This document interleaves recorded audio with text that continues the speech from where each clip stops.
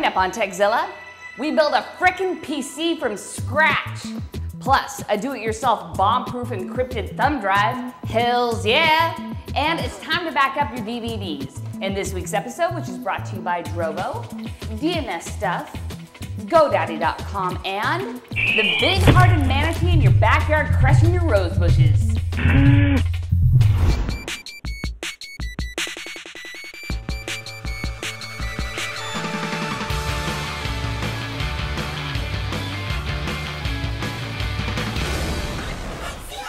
Hello and welcome to the show. it's officially 2008. And I'm officially paying attention now. Yes, and I'm Year's. officially final, finally sober. Finally sober. I didn't and wake you up. Did, yeah, It's the, the best thing about being sober is not waking up hungover on the first day of the I, year. I'm sure that that will be a wonderful experience when it happens. for me. Hopefully your headaches have passed. And actually, if they haven't, cover your ears right now. That's the sound of a bomb. See, we don't even know when he's gonna do that because it's so not even scripted. Oh my god! really? Well, that's I mean, it didn't break. What, what did you want to prove hope. with that? Well, that's the USB broke the drive. door, We're going to talk about drive. bomb-proofing portable USB data. Evidently. Hopefully, it didn't break. All right.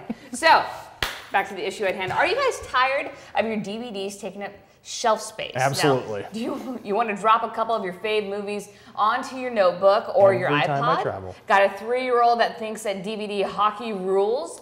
You need to back up those DVDs. Okay, backing up DVDs. Not hard, it's just illegal in the United States. If the DVD you want to back up uh, has copy protection, which pretty much means every movie or TV series you might buy in DVD format. Got that straight? Yeah, good. So we're going to list our couple of favorites, one for OS 10, one for Windows.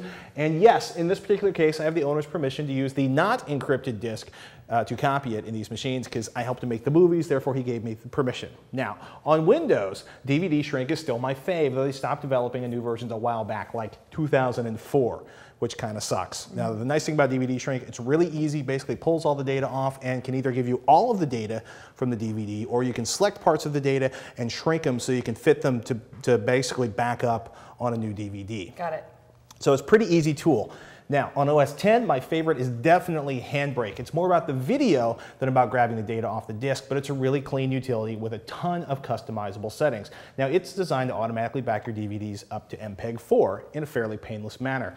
Now, if you can't copy that disk, well, there's new macrovision protection. There's some interesting stuff they're doing that's going to, could, and is most likely to break either one of these tools, i.e. not allow you to copy the disk. If you're curious, if you're curious. Always. Always. it's good to be curious. curious. You're still there. You, you had a good New Year's. if you're curious, you know, kind of on the next step in dealing with copying DVDs or dealing with really tough uh, protection, email us tekzilla at revision3.com and we'll get uh, we'll get like hardcore about uh, moving the DVD data off. And, and, and listen, don't crack those DVDs so you can steal them or post them online. Yeah, basically, if you don't own the DVD, don't copy it. Yeah, Yes. not just her, you guys too. Okay, we're gonna cut over. Our very own Neha Tiwari actually did something interesting today. $500 PC, she's building her first PC out of those parts. Let's take a look at part one. It's a major step in a young geek's life to build their first PC. Neha's ready to take the plunge Right, I'm ready to be a stage five geek. with rabies. I don't want to have rabies though. Yeah, this probably isn't really like stage five geek No. with rabies thing, but No. it's called a stage three geek thing. Okay. Okay. All right. You sound a little disappointed.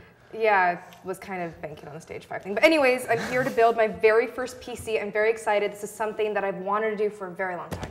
We got the motherboard outside of the case. Yes. Right, because generally it's easier to get um, the memory and the processor and the heatsink on outside of the case. Then we're going to put the motherboard inside of the case, and we're going to basically talk about everything else. Okay, so first things first, we're just gonna put a whole bunch of stuff into the Mobo. Should we get the scariest thing out of the way first? Yes. All right. So we were practicing this before. We've got the processor. It's kind of nice. The new processors, they just have those flat buttons on them, and this is going to be a little hairy. Uh, you can see in the in the close-up shot here. We found out why this was an open box motherboard. There's a bent pin on the PC socket. So if this doesn't boot, it's not your fault. Okay. And I'm going to be sending this back. So All right. you want to go ahead and open up the uh, case there? Sure. So I think you just have to pull this lever out, and then uh, you just pull this little latch. There you go. So, all right. And then um, I guess you're just gonna line up the little uh, The slots, the little tabs. Okay. Seems seems simple enough. It's pretty good. okay, I got it in. Flip that down.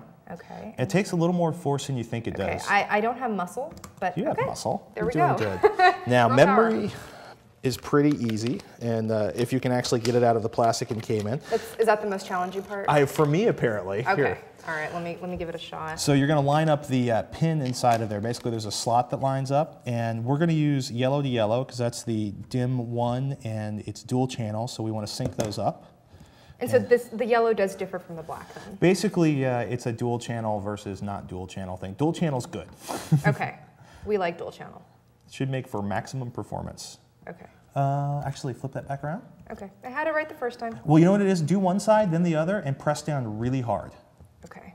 There we, There we go. go. It just it just snaps right in. Yeah, but it's like it's like aggro snapping in. It's it always takes for that. I mean, for the for the PCI cards, not so much. But for memory, you always kind of have to seem to like. Takes a bit of force. All right, these are kind of easier than they used to be because they already have the. Uh, the uh, thermal conductor um, pre-laid out on there, so you don't have to figure out how to do a really thin layer of Arctic silver. Remember Arctic Ooh. silver? Um, but what is kind of tough is you're going to have to line up these pins Okay. with the pins in the holes in the motherboard right there. So you can see there's like, here, hold that so I don't drop it down on Sure. our fabulous table. So you're gonna line it up with these four pins, and then you're gonna press down these two, and then basically press down, you know, these two, and then press down these two to lock them into the motherboard. Does it matter which way I put it? Well, I think they're only the gonna line up one way. Let's take They're a look at only at gonna line up. All right. Let's see here. That oh. actually looks pretty good. I think I got it. Basically, going to press them down on opposite sides at the same time. That keeps the stuff going down equally. Okay. I already got this one down. Now let's go ahead and press this down and see if you can get this side. There we go. So one last thing, you want to grab the power cord here, Yeah. and we're going to plug that right there because cooling is good. Yes. Feeling good? I'm feeling good. This is not as bad as I envisioned. You want to put the processor back on again? No. All right, Jessica? Next, I've got a little something up my sleeve for all you music fanatics out there, but first, listen up. It's that time again, folks. That's right, yet another flu season is hitting hard, and you might be searching for answers online. If so, look at medgle.com. Unlike webmd.com, this personalized med search site cuts right to the chase of diagnosis. Medgle claims that visitors can get over 2,000 diagnoses from their 6,000 plus symptoms menu. The site also has some Gray's Anatomy esque drawings, a drug directory, and procedure details. Overall, a good resource on the web if you're ever curious about what that, well, uh, rash might just be a symptom of. And uh, I don't even want to know. But remember to always consult your doctor, but check out medgle.com for some additional information. DNS Report is a cool tool and the most powerful and comprehensive way to check the health of your DNS. 56 tests run against your domain in seconds. Get peace of mind at DNSstuff.com, a reliable go to site that has everything you need. DNS is vulnerable though. Remember, no DNS, no internet. Type Tekzilla into the coupon code when you buy a tool set and get 10 bucks off. How rad is that? Okay, so I have all the stuff on the motherboard and Uh-huh. I need to place it somewhere. You've populated the motherboard. We're going to put it inside the case. Now, in this one, because the, the power supply doesn't block, you know, obscure, make it hard to, you don't have to take the power supply out to put the motherboard in. We've got the power supply in.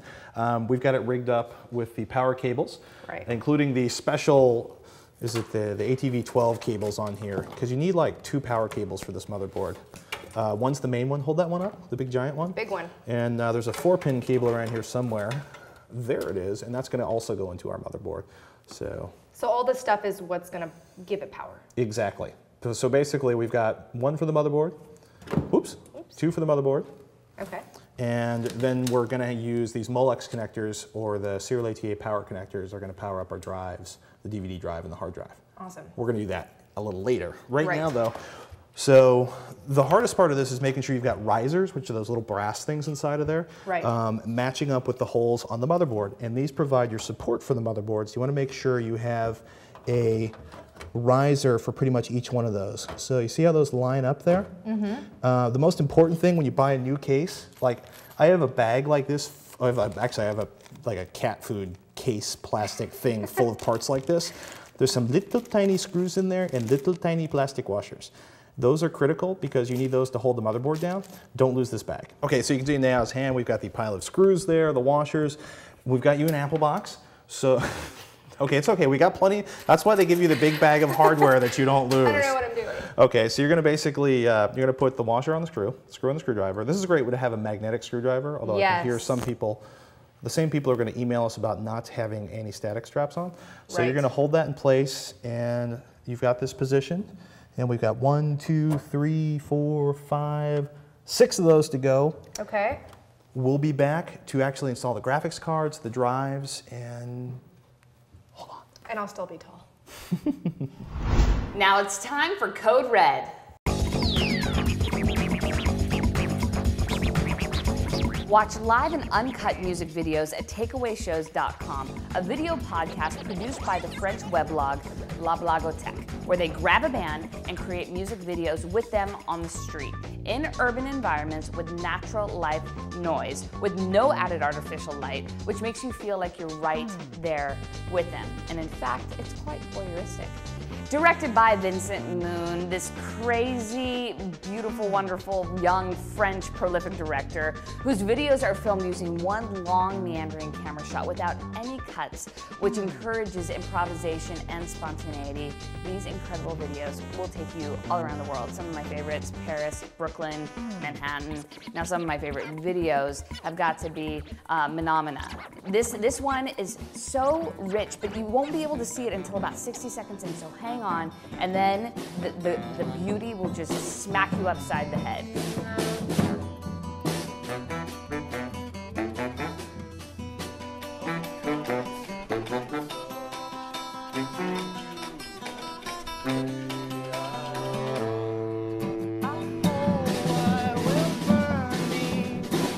Then another one that I love, Arcade Fire. If you're a fan, check him out in an elevator. This guy captures, you know, these bands in the most unlikely urban settings in an elevator.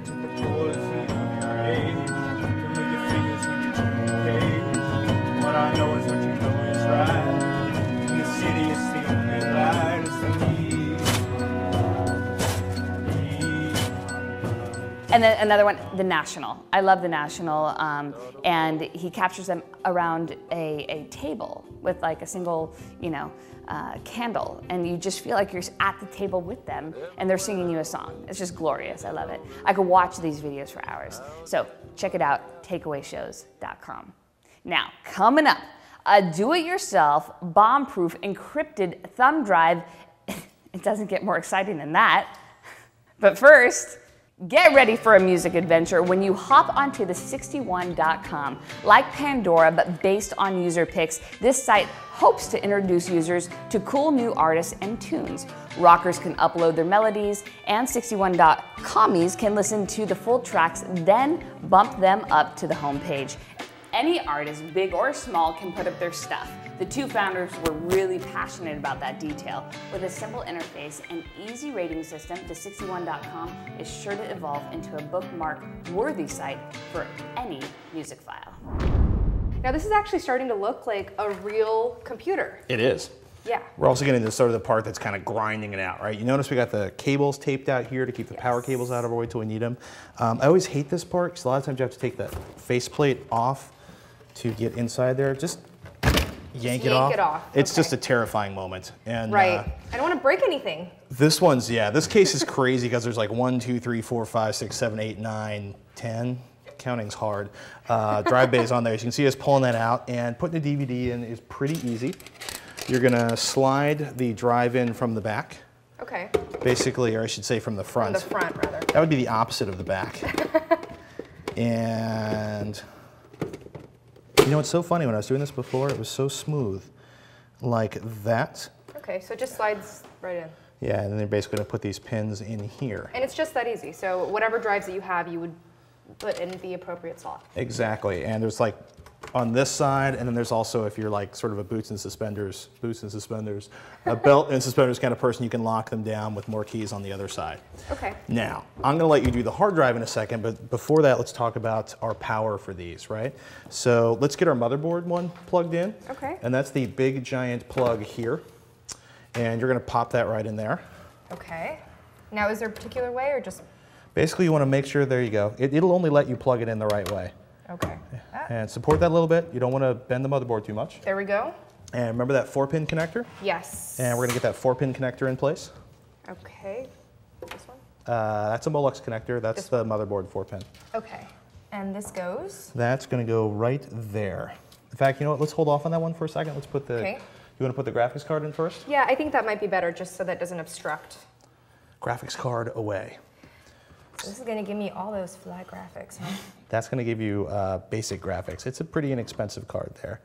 Um, yep, you're going to line it up with the slot. Okay, And- and same same principle, just kind this of press one, down. yeah, this one you want to press down, and you might have to wiggle it a little bit. All right. There we go. I think we we, go. got it. I think Okay, you it's locked in. Uh, that's your screw to hold that down. And so I would just put this screw right up here. Exactly. Actually, let me steal this power cable for a second. Okay. So while you're doing that, um, we're going to put the hard drive inside, which is going to take a serial ATA connector. That's the power, I should say the serial ATA power connector, and then the serial ATA connector right here.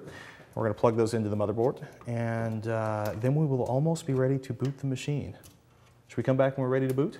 I think so. I'm totally excited about that if I could ever get the screw in. Those are tough. All right, Here. got it. There you got go. it. Get it vertical. Here, slide this over like that. All right. There you go. Got it? Yep. This episode of Tekzilla and the following backup segment are brought to you by Drobo, the world's first storage robot and the easiest way to protect your data. Drobo expands forever, and it's award winning with the highest CNET rating for storage ever. Go to drobo.com and save 50 bucks by entering the code Tekzilla.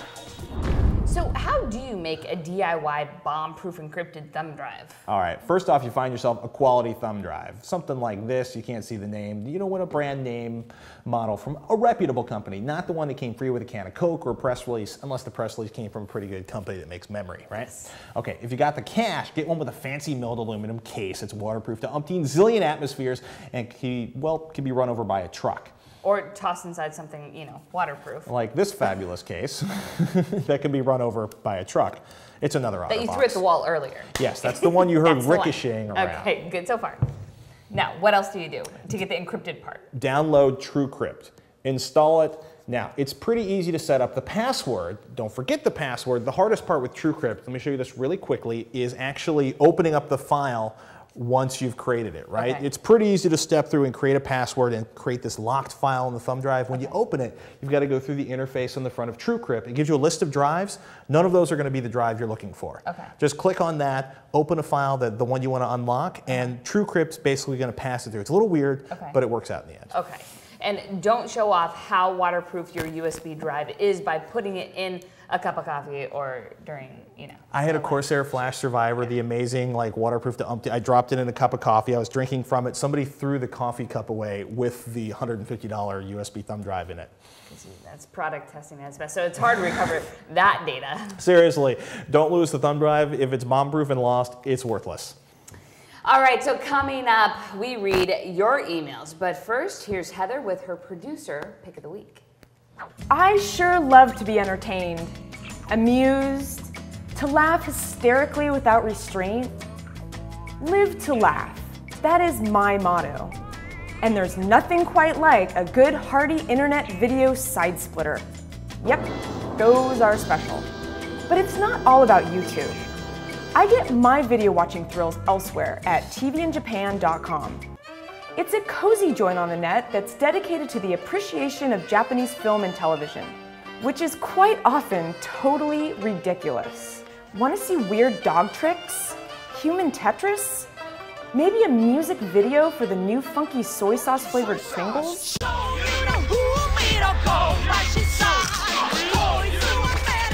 Ah, hilarity. If it's wacky, wonderful, and Japanese, it's on tvinjapan.com. Big thanks to GoDaddy for reaching out and sponsoring Tekzilla. If you want to make an impact online, view it with GoDaddy.com. .com names as low as 199 plus world-class hosting, fast and easy website builders, and much more. Enter code TEK5, T-E-K-5 when you check out and save an additional $10 off any order of $40 or more. Are you ready for the horrendous moment of truth? I am, and I'm not a giant anymore. You're shorter. I am. I got off the Apple box. I'm not even going there. Yeah. Power button? Sure, I could totally reach that. Will it live? It's like drum roll, please, right? This is so exciting. It is. So if it doesn't live, we're going to talk about how to basically go through. Oh wait, Oh, good. This is a good sign. It's um, alive. Yeah, well, we're not going to set it up right now. We'll talk about that next week, or actually when we get back uh, after CES. Right. And we're going to talk to you about setting up your operating system and configuring drivers and dealing with all the BIOS settings. And I know we glossed over some stuff in there, but you know what? It's it's kind of slot A into tab B. If there's specific questions that scare you about how to deal with like, I don't know, serial ATA connectors. What was was the what was the like was the processor graphics card or was it all easy? I, I think it was pretty easy. I mean, being a newbie, I have to tell you that this was relatively easy. I was shocked at how easy it was. And I mean, I, I asked him many times, like, really, is that all you have to do? Is just a little snap in here and a little snap in there? And um, basically, yeah, that's, that's it. So uh, when we come back, operating system, BIOS, all that good stuff. Ignore this disk boot failure because we haven't installed the operating system yet. I look forward to doing that. Congratulations. Yay, made it. Yay. Yes, stage four dork. Dork. Nerd. That's better. So now it's time for your viewer mail. First up reads I'm looking for a DVD player that's just plain old DVD. No Blu ray, HD DVD. How much should I be expecting to pay? And where should I look for one? Nathan from Evansville. Well, you know, you, you may be paying next to nothing because if you walk into Walmart on the right day, you can buy a, a DVD player with S video out for like 20 bucks. Big, Is that right? I it's ridiculous. seen it that I've seen low. thirty-five dollars like on sale. Wow. So the big question is: Are you connecting to a standard def television or an HD TV? If you're going standard def, grab the cheapest name brand off the shelf. If you want something to pump in your HD TV, it's worth searching out a good upscaling player, uh, probably with an HDMI output. Sony doesn't make my personal DVP NS75H anymore. How's that for an acronym or a bunch of letters and numbers? It's been replaced by the DVP NS77H. You can get that for 90 to 100 bucks on sale. Oppo's 980H, 170 bucks, gets rave reviews, and the DV981 HD from Oppo adds in Faroudja processing, which is pretty sweet. Cool. All right, so email number two reads Could you guys uh, recommend a good LCD monitor to me? I'm looking for something around 19 inches, affordable, and good enough performance so that when I game with it, I won't notice any glaring issues from Greg In beautiful Redding, California. in Reading. Okay, this is one of those mad prices are going to vary vastly areas, so shop carefully. Online is really good. Costco actually has some amazing deals Yeah. on monitors. I picked up a couple of 20-inch monitors for 200 bucks when they were like 250, 300 bucks everywhere else. Now, 19 inches is a sweet spot for cheap monitors. Samsung and Dell are my two favorite sources right now. PC World rates ViewSonic and NEC as their best buys. Shop around on the prices. You should be paying 200 and 250 dollars. Yeah, and that's if you want like the warranty and buy it new, but always like Craigslist or someplace like that, you can probably get it for super cheap. I'd be really careful with Craigslist because a lot of people are selling really old 19-inch monitors Yes. now, and they may not have the kind of uh, performance he's looking for for gaming, the refresh rate on the monitors. That's why Patrick Check really takes over carefully. the advice. All right, so email us with any questions and comments, tekzilla at revision3.com. I think that's it. Good night. Good night.